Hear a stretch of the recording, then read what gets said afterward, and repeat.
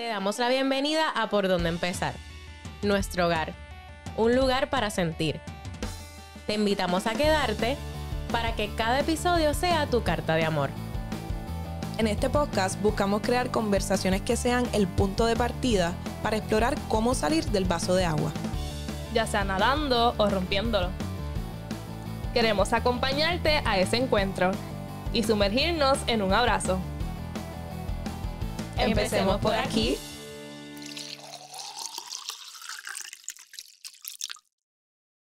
Hola, mi nombre es Yuisa Mi nombre es Yachira. Y estamos aquí en otro episodio de Por Dónde Empezar. Gracias por estar aquí sintonizándonos semana tras semana. Exacto. Oficialmente este es la, el primer episodio mío y de Yashira en la nueva temporada y también en el nuevo año, En el nuevo ¿verdad? año, en el exacto. 2024. Así que obviamente estamos muy contentas de estar aquí. Estamos de rojo, ¿verdad? Porque esto está saliendo ¿cuándo? Sale ya después- después, de ajá, San Valentín, después de San actually. Valentín. Estamos grabando esto antes de San Valentín, pero ustedes lo van a ver pues eh, el día después de San, dos días después de San de Valentín. San Valentín. Así que por eso nos ven de rojo y pues el tema que traemos hoy tiene, ¿verdad? Alguito de relación con lo que es eh, San Valentín, las Febrero, relaciones de pareja, exacto. obviamente. Eh, y en este caso, pues el tema, ¿verdad? Para ir ya rapidito eh, de lleno al tema. Ah, algo, un- una advertencia, eh, por si acaso. Estamos solas en el estudio. Ajá. Esta es la primera vez que grabamos Estamos sin alguien en los controles. O sea que bear with us. Ajá. Esperemos que esto salga bien, que se escuche todo, que se vea todo, que no se corte nada. Eh, Así pero que si ven ajá, cosas pasando, pues ustedes pichen. Exacto, todo está bien. Es que estamos aquí, ya Chiri y yo sola, y nadie está diciéndonos nada, Nada, por allá. literal. Eh, así que nada, ahora sí, para entrar entonces de lleno al tema, eh, queríamos hablar y, ¿verdad?, discutir maneras de innovar o digamos también de salir de la rutina, de la monotonía, eh, particularmente en el ámbito de la sexualidad. Exacto. Eh, obviamente, pues entre parejas, aunque las cosas que vamos a hablar, pues pueden usted integrarla a cualquier tipo de Ah, vínculo, exacto. ¿verdad? A lo mejor no necesariamente es una pareja, a lo mejor son, este, ¿verdad? Eh, polículos ajá. o algo así.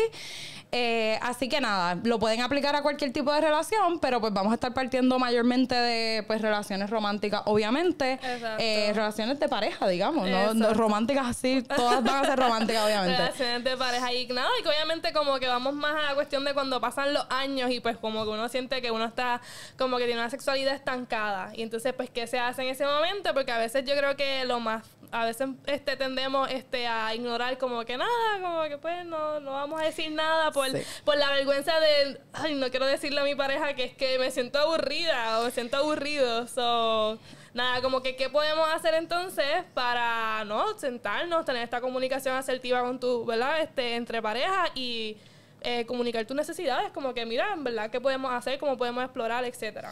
Y yo creo que empezaste, ¿verdad?, dando en el clavo con la cuestión de la comunicación, porque uno de los motivos, ¿verdad?, que, que trae eh, situaciones en la sexualidad de las parejas es precisamente la falta de comunicación respecto a ese tema en particular.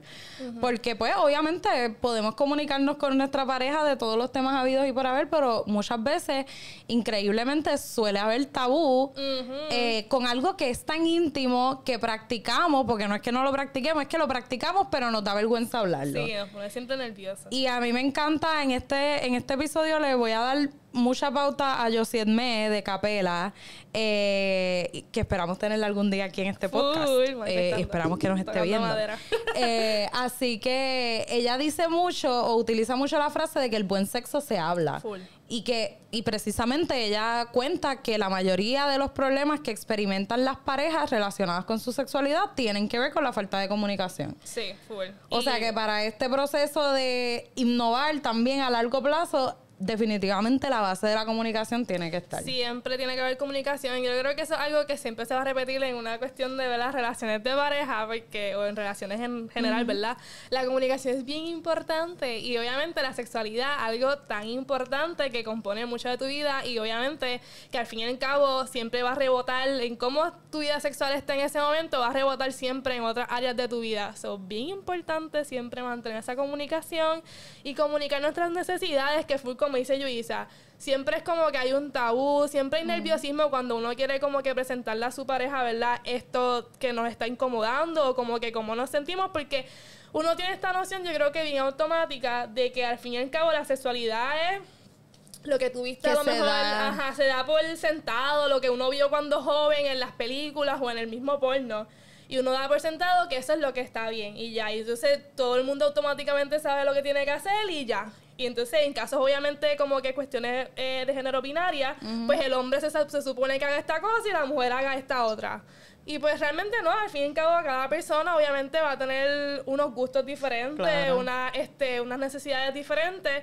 So, a veces pues como dije, puede dar nerviosismo sentarse como que con tu pareja obviamente a conversar y tener, eh, plantearle, mira, en verdad es que no me gusta ser sumisa. como que, por Y- ejemplo. Y claro que no va a ser fácil, Ajá. pero pues de verdad, de eso se tratan las relaciones. hay, hay una cuestión de que estábamos hablando ahorita fuera de cámara, de que hay un trabajo que hacer en, en las relaciones y pues eh, para bien o para mal, en, la, en el ámbito de la sexualidad, pues también hay, hay que hacer ese trabajo eh, y ese trabajo empieza en la comunicación, en tener esas conversaciones que a lo mejor en cierto momento pueden ser incómodas, pero pienso que una vez ya uno las, ¿verdad? Abre y entra a, a sentirse cómodo con esas conversaciones, pues se deja la incomodidad a un lado y se convierte al contrario en algo completamente positivo. Exacto, como lo que estabas diciendo de que el buen sexo se comunica. Se habla, Al fin al claro. se habla. Este, pues, como estaba diciendo, sí, en el final,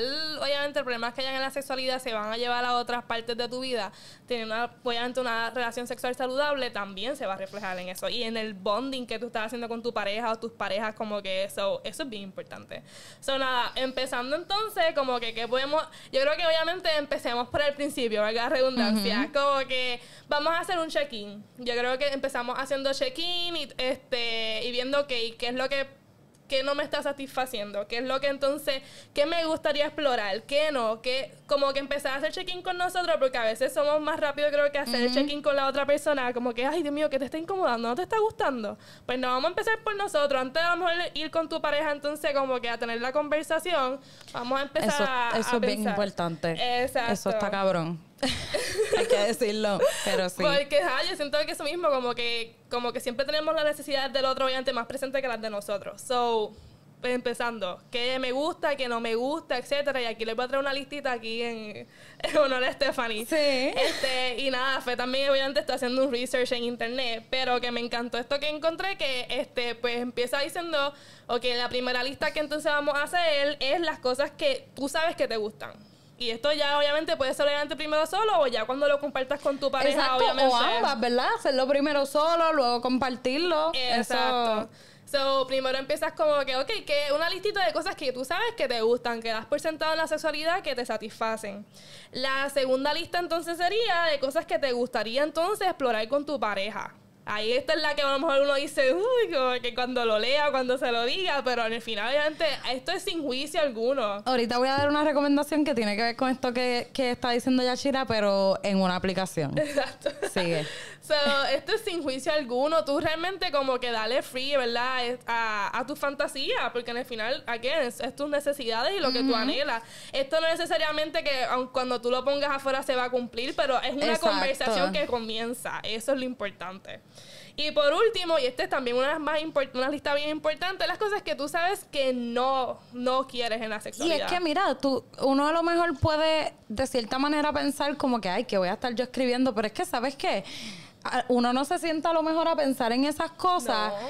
Y es que son cosas importantes. Tú tienes que saber cuáles son tus fantasías y cuáles son, eh, ¿verdad? Por el lado contrario, cuáles son tus límites, las cosas que nunca harías. Sí. A lo mejor nunca nos sentamos a pensarlo, pero deberíamos. Sí, full. Y va a la cuestión de que a lo mejor uno da tan- tanto por sentado la sexualidad que cuando uno se pone a sentar, eh, uno se pone a sentarse a pensar en eso, este, en el caso de las cosas que no nos gustaría, yo creo que nos sorprenderíamos con la cantidad de cosas que todos hacemos que no nos gusta, pero por no hacer sentir mal a la otra persona, por no para que ellos no piensen que uno es aburrida o aburrido. No, y que, hace. si, y que si ambas personas están haciendo algo que no les gusta, por no atreverse a decirlo. Es como que ese es el, ¿verdad? El colmo de los colmos. El que, que pues ahí, ahí hasta cierto punto este performance de hacer lo que se supone que se haga, pero realmente no hay ese intercambio de lo que verdaderamente a uno le gusta. Exacto. Y algo que quería decir es que también muchas veces tenemos como este sentido de culpa, por llamarlo de alguna manera, a lo mejor vergüenza también puede ser de que de que nuestra vida sexual en pareja no sea la mejor o de que yo como persona no me sienta satisfecha. Como que eso crea también esa, esa cuestión como una culpa, una vergüenza que yo creo que evita eh, el que uno entonces, eh, ¿cómo se dice? Lo- Propicia esa lo- conversación. literal. Pero mi pensar es como que en, en vez de estar apegados a la culpa, a la vergüenza, lo que hay que pensar es qué es todo lo que me estoy perdiendo por, Por no no hablar hablarlo, con mi claro. pareja, como que de lo que nos gusta. So, yo pienso que eso, como que no debemos sentirnos mal de que no nos se- de, de no sentirnos satisfechos, no debemos sentirnos mal de que nuestra sexualidad con nuestra pareja, tú puedes amar y adorar a esa persona y a lo mejor tu sexualidad no está en el mejor momento. Y eso no significa que la relación no tenga futuro. Exacto. O sea, es como que debemos cambiar el switch a ver que siempre hay algo que se puede hacer, Claro. que se puede trabajar, que se puede intencionar, que se puede construir, que se puede explorar. Y que como bien dijiste, con esos ejercicios de las listitas, pues también abres tu mente a, si nunca te has preguntado cuáles son tus fantasías, pues pregúntate eso, eso es bien importante. Exacto, y nada, y como dije, entonces explorar todo esto siempre desde eso mismo, desde no juzgarte ni juzgar a otra persona. Yo creo que esto tiene que ser una conversación, como lo hemos dicho a lo largo este, de este episodio, como que sin, sin tabúes, sin nada. Es como que esto es libre, porque en el final, si vamos a explorar algo, vamos a explorar esto juntos, es para eso mismo. En el final, tú no juzgues mis fantasías, ni yo juzgo las tuyas. Voy a, voy a dar la recomendación ahora porque es que tiene demasiado que ver con lo que estamos hablando. Ajá. Esto es una recomendación que vi hace como una semana o dos semanas en la página de Papaya Tropical, que también le hemos dado mucha pauta en este podcast. Eh, las duras. Eh, y es, eh, era un, un post como dando ideas para celebrar San Valentín, eh, como que cositas gratis que puedes hacer en tu casa. Y entonces recomiendan una aplicación que dice, se llama Ex Confessions, The Couples App. Yo creo que Ex Confessions, eso no sé si también es como una página web o algo, pero parece que es una aplicación. Y dice, eh, la, la oración con la que introducen la aplicación dice una versión kinky de Tinder. Ay, ¿Y cómo es? Es, parece que, ¿verdad? Esto yo lo aprendí aquí, nunca había escuchado la aplicación. Pero es para que tú y tu pareja bajen la aplicación y de la misma manera que en Tinder te van apareciendo cosas. eh, en este caso, me imagino que fantasías o cosas así. Y tú le das que sí o que no. Lo amo. Y cuando las dos personas, pues obviamente le dan que sí a una misma cosa, pues les llega una notificación de que fue un match. Ay, me encanta. So, eso es como que literalmente lo que Yashira está diciendo, ya llevándolo al nivel de, pues, Ponerlo compartirlo. ¿verdad? Compartirlo entre las dos personas o las personas que sean. Eh, pero también una manera a lo mejor un poco de romper el hielo, si todavía hay un poco de Mm, vergüencita, ajá. pues esa cuestión del teléfono se, pues es como un juego. Exacto. Eh, maybe no hay que como que pasar por esa conversación tan difícil de, pues, de decirlo todo como que Ajá, en palabras, exacto, bien explícito. Así que nada, me gustó eso. Ex Confession, eh, Ex Confessions, The Couples App. Yes. Y cualquier cosa pueden buscar en la página de papayatropical.oficial en Instagram, que ahí está el post. Me encanta. Y full, como tú dices, es una forma de, de romper el hielo. Y como Eso me encantó. diciendo, como que. Y nada, que también, este, yo lo iba a decir un poquito más adelante, pero que yo creo que también hay que tener en cuenta que en el final, a veces cuando a lo mejor uno piensa que va a tener esta conversación de, ah, vamos a explorar nuestra sexualidad, rápido, qué sé yo, se piensa voy a dar un ejemplo bien trivial, ah, vamos a tener un threesome, o vamos a hacer, qué sé yo, vamos a ir a una casa de... Sí, cosas al extremo. Súper extremo, pero realmente no, hay cosas súper sencillas que tú puedes hacer, como ahora mismo, no muchas personas han probado a lo mejor con este instrumentos sexuales, o literalmente un vibrador, nada, como que integrar esas Lubricantes que tienen algún tipo de sensación. Que mira, es Exacto. gente, eso hasta en Walgreens. Literal, so, ni siquiera es como que empezar la conversación con algo súper gigante. Es como que a lo mejor cosas sencillas.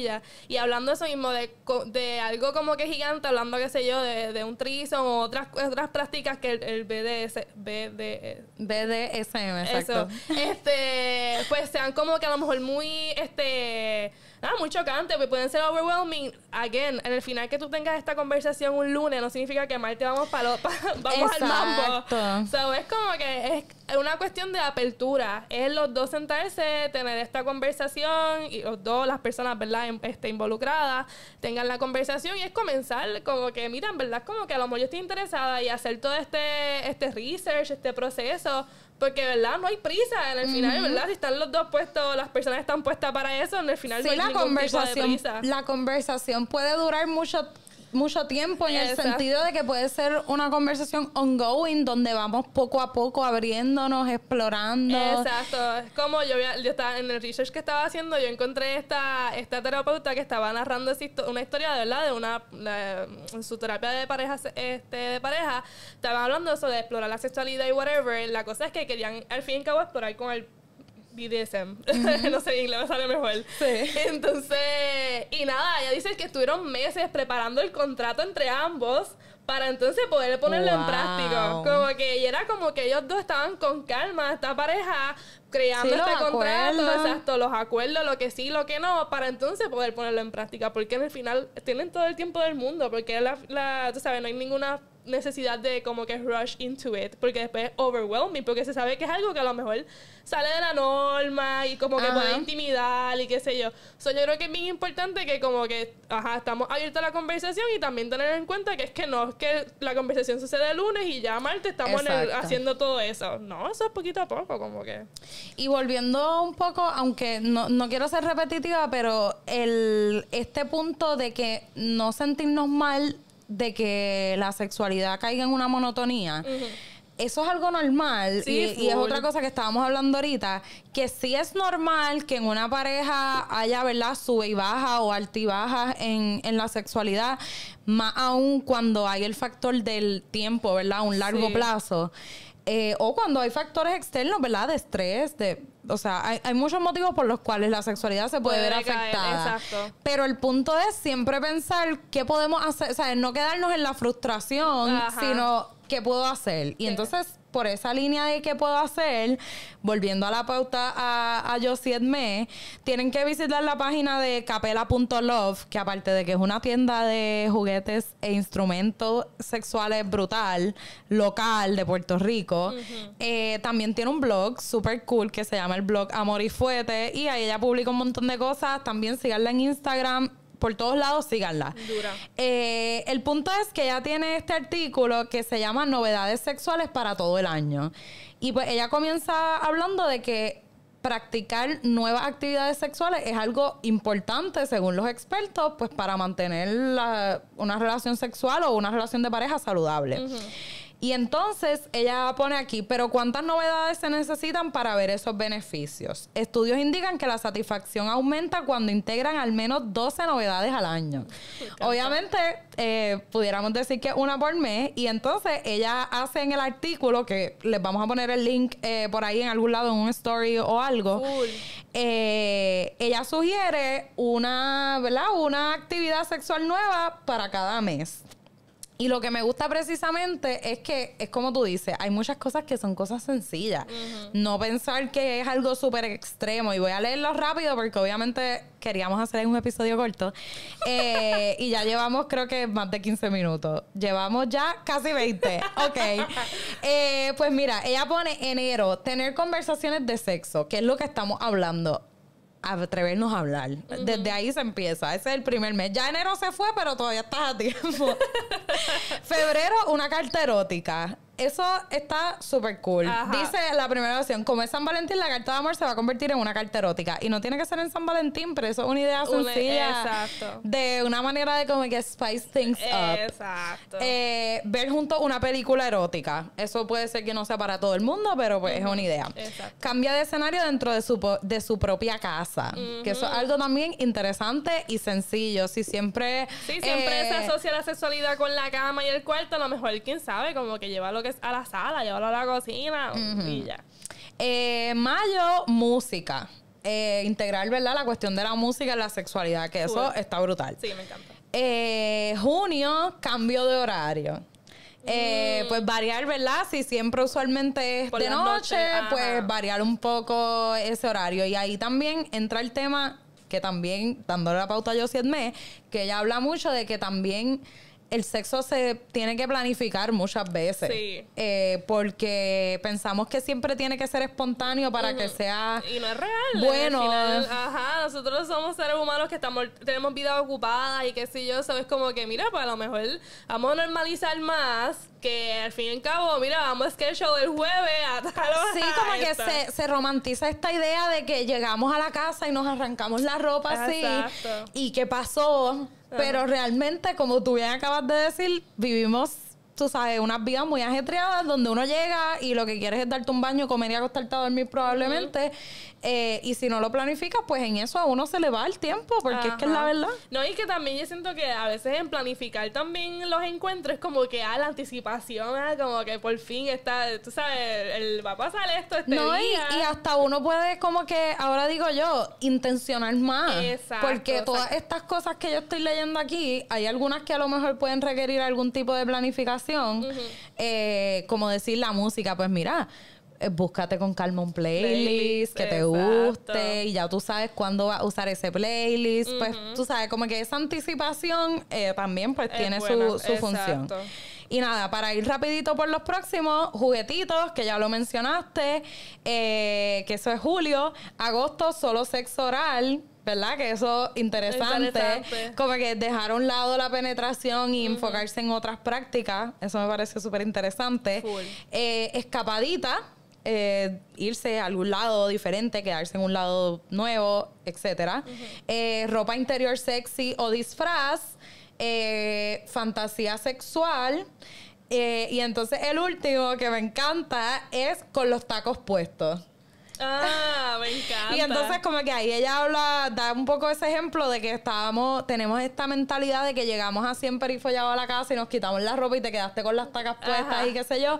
Pues como que eso, pero hacerlo a propósito.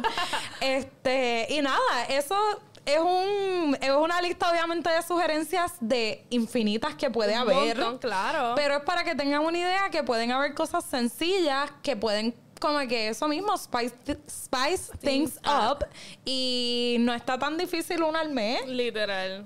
Literalmente.